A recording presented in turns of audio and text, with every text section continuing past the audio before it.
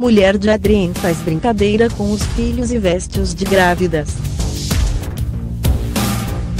Grávida pela terceira vez, Margarida Neuparti partilhou nas redes sociais um momento divertido com os filhos, Santiago e Tomás, este sábado.